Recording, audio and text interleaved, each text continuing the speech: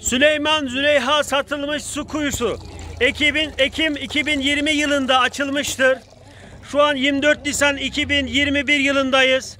Suyun pH değeri 8.7, TDS değeri 395. Suyumuz gürül gürül akıyor. Herhangi bir teknik aksamında problem yok. Buradaki gençlerin de size selamı var. Kontrol edilmiştir. Allah hayır sahiplerinin hayrını kabul eylesin.